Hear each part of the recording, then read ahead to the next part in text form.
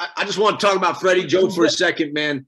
Um, not only is he uh, he's a master at uh, uh, his craft of, of making human beings feel bad about themselves, uh, but he, he's also uh, uh, someone we love and trust on set. And he was there for the entire ten months with us, and never was there ever a moment that I ever feel like he didn't have everyone's back and that he was someone that we could always go to and that we could always trust in him. And uh, he's not, he doesn't like me saying that right now, but uh, the man's a consummate professional. He's a filmmaker, he's a stuntman, he's an actor, and um, you want him on that set with you at any point in time.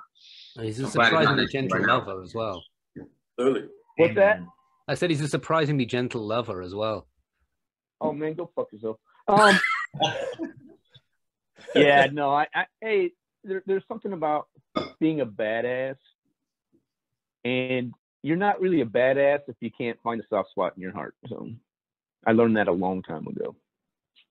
All you are is a dick. But you know what I mean? You got to find a soft spot in your heart. And uh, I, I will tell you all this, as you all know, this I've been doing this like 26 years now. Um, and it seems like 95% of every project is Army for me for some unknown reason.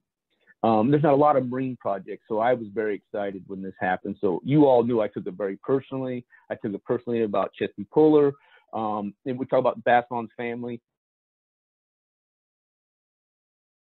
Um, there's besides Chesty Puller, John Baslon is the most famous uh, next to uh, Smedley Butler and so on, because every Marine Corps base, you drive the main center road is Basilone Road, and it will always be that way. So even young Marines that don't understand or whatever what's going on, they didn't see the Pacific, they don't get it. They got to get on Basilone Road to get to work every day. So then they always ask questions, which one is this? Who's Basilone? Who's John Basilone? John Basilone was a young kid that was in the army, tried to figure his life out, couldn't figure it out, became a Marine, became a man, and then saved lives. And nothing better. Nothing better in the world. So and uh how badly did and, you ride John's that, ass?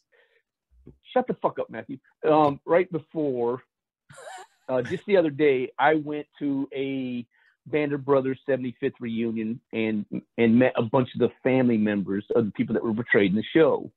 And one of the greatest compliments I've ever gotten in the film business was uh, one of the kids. Uh, he, I'd say kids, they were all older than me now, you know. But um, one of the things was he never really his dad never said nothing, and he said to me, he goes, by you making these actors portray our fathers, helped our fathers communicate with us. Wow. And he and he thanked me. And that's what it's about. Mm. And I told each and every one of you, this is going to change your life. And you were all like, well, I'm a big fucking thespian. I've been to the finest schools of New Jersey in acting, and I went to East Kentucky State and learned how to run through the fields of love.